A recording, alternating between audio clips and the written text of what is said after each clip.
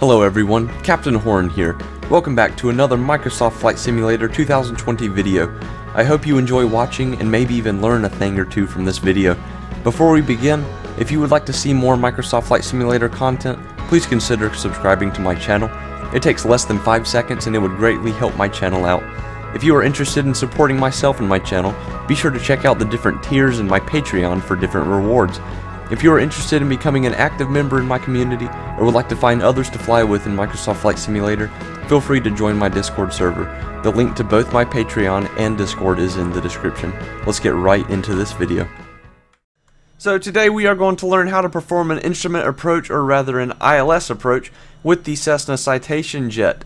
First, before we get into how to set one up and perform an ILS, what is an ILS? Well, that stands for Instrument Landing System, and this allows the aircraft to essentially land itself down to about 200 feet above the ground. Some aircraft even have what's called an auto land feature where they will land themselves all the way to the ground.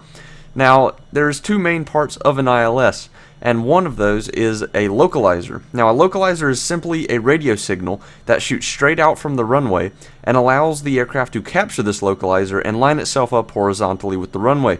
The other aspect of an ILS is the glide slope, and this is the slope at which the aircraft will descend in order to make contact with the pavement. Now ILSs are very fun to perform and they are very useful, especially on a day like today where the clouds are very low and it would be difficult to perform a visual approach. So let's get into how to set up an ILS approach and let's perform one.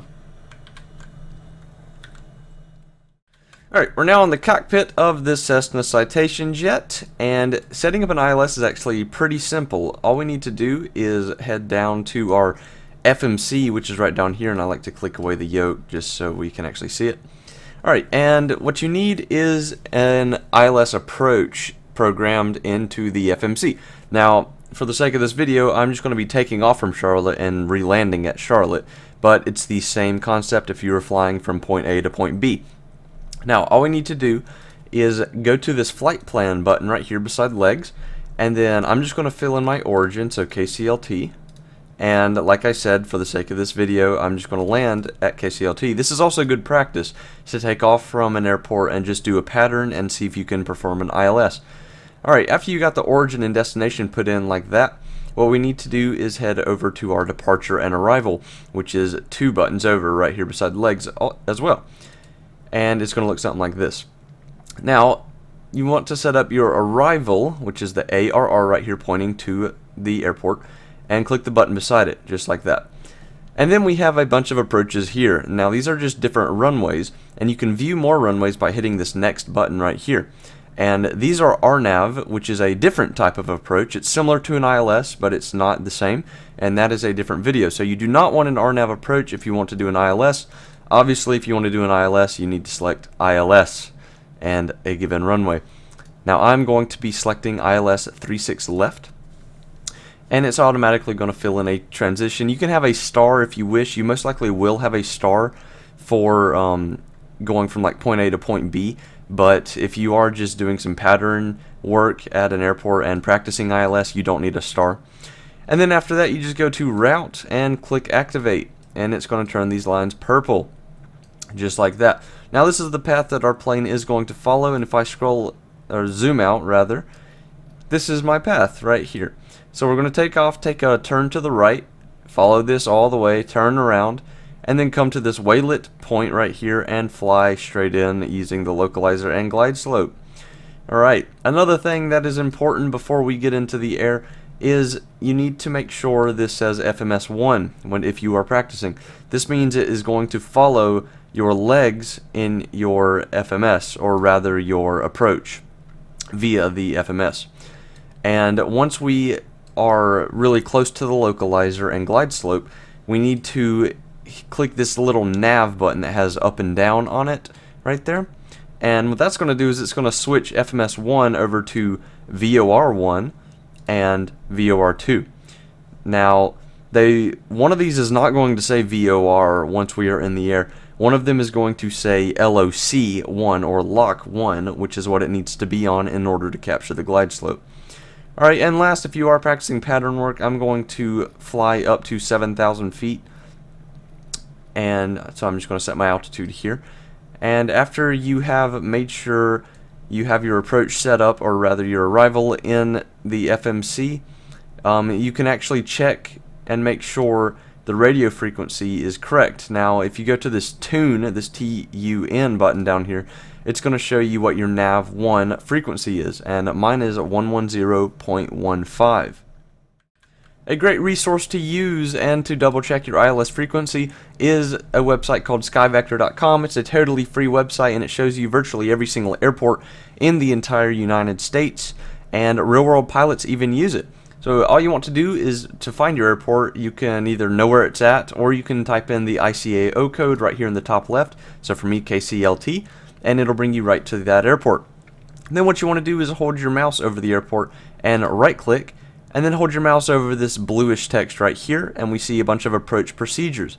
Now I am landing on ILS runway 36 left. So find your runway and then you click on it and it brings you up the entire approach plate. Now this looks a little complicated, but we only need a few things from here. First is the localizer frequency, which is right here, 110.15.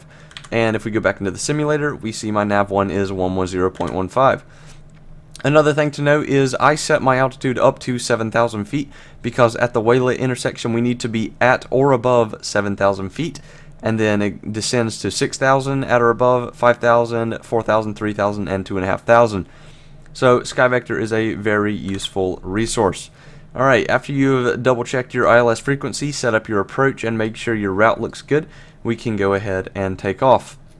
And I need to set my altitude back up to 7,000 feet. Why does it go by tens like that? There we go. Alright. We can now take off. This jet is very fast, and I really like how quick it is and the engine sounds of this jet. You can see we are already at 100 knots. And there's V1 and rotate. Alright, and remember guys, right off the runway we are going to make an immediate bank to the right, like this, in order to start getting on course. Alright, another important thing to note guys is um, you should turn this flight director on right here. It's this FD above the course. And all that is is a purple uh, thing, I guess you could say right here, looks like an arrow, that shows you where your plane needs to go. And it is very useful. Alright, since we are above 2,000 feet, I'm going to go ahead and raise my flaps up one. I'm going to engage autopilot and vertical speed to start getting us up to that 7,000 feet that I want.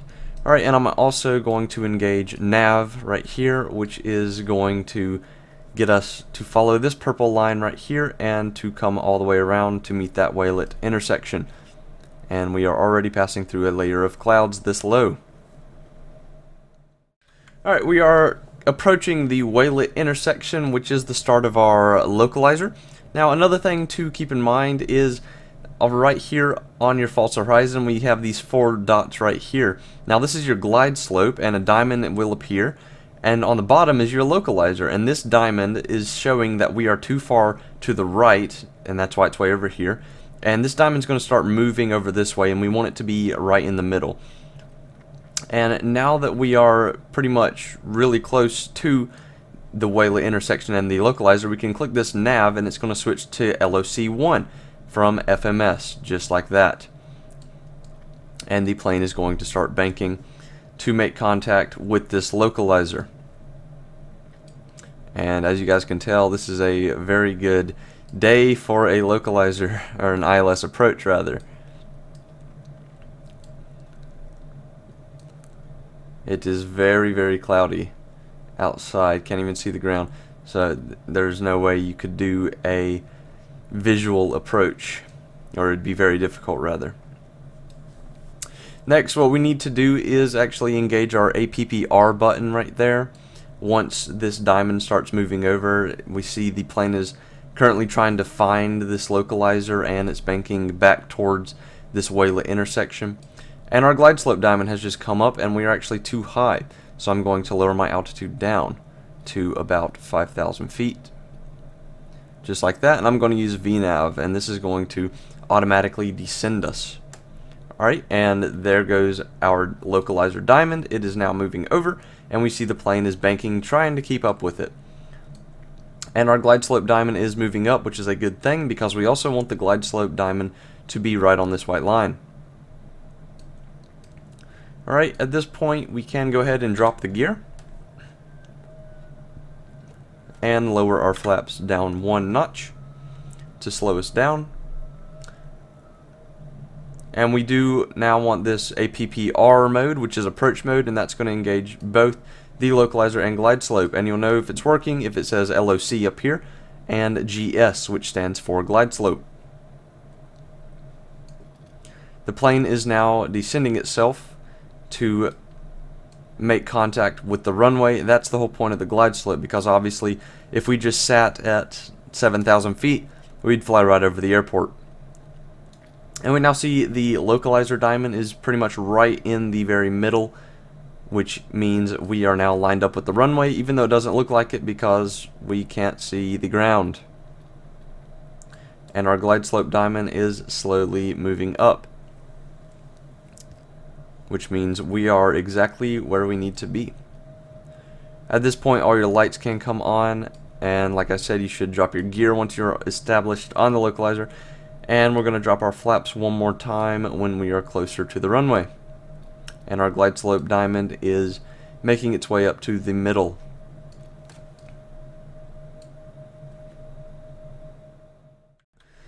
Alright guys, we have now punched through the cloud layer as you see and we can see the ground and we don't even really have to look up because I know that we are in line with the runway because this diamond is right in the middle and we are on the perfect glide slope because this diamond is pretty much in the middle. But we can look up and see the runway right there. And we have white over red which means we are perfect. Now, one thing is that this plane does not have the auto land feature I was talking about earlier and you will need to disconnect the autopilot when you are pretty close to the runway. If you don't disconnect the autopilot, then it will just crash into the ground, or it'll be a very bouncy uh, landing. And once you disengage the autopilot, you of course need to flare. You really don't even have to touch it because your localizer has taken care of that. But you do need to flare. And another thing to note is this aircraft does not have uh, armed spoilers, so you have to deploy the speed brakes or spoilers yourself and it also has no auto brake. But this jet does have a reverse engine functionality.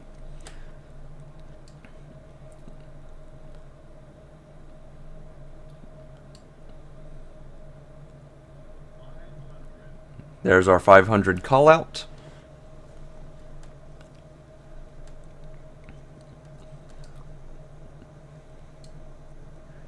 And I like to disengage the autopilot whenever we are a little bit closer than this. Like somewhere right around here is a good spot to disengage the autopilot and you just press that bar that's under the AP. And then you really don't have to touch it but you just lower your throttle down and flare it a little bit. And there's very smooth contact. And of course you got to deploy your spoilers yourself and reverse the engines. Don't even have to apply brakes on this aircraft. The reverse engines and spoilers take care of a lot of it. See we are already down to 40 knots. And you can take away your reverse engines, lift up your spoilers and lift up your flaps and you can get your landing light off and taxi off of the runway. So guys, that is an ILS landing just to recap, you want to make sure that you have your approach set up in your FMS or FMC. And then you want to check your altitude restrictions at each waypoint. Make sure when you are approaching the localizer to switch this nav mode over to LOC 1 right here instead of FMS. If it is on FMS, then like this, then it's not going to follow the localizer in. And then once you're on the localizer, drop your gear, drop your flaps, and engage your APPR button, which is going to engage the glide slope. If your glide slope does not capture, that means you're either way too high or way too low, and you need to try and get this diamond right here in the middle. If, it, if the diamond's way up here, that means you're way too low, and if it's all the way at the bottom, you are way too high. But it just takes some practice. Go to an airport like I have just done, set up an arrival into that same airport, fly the route, and just practice doing these ILS approaches. So that's going to do it for today's video, guys. If you're new to the channel, please do like and subscribe. Don't forget my Patreon and Discord links are in the description. Always looking for some new members to my Discord. Be on the lookout for a more live streams and more Microsoft Flight Simulator 2020 tutorials. I hope everybody has a wonderful rest of the day or night, depending on when you are watching this, and I will see you guys in the next video.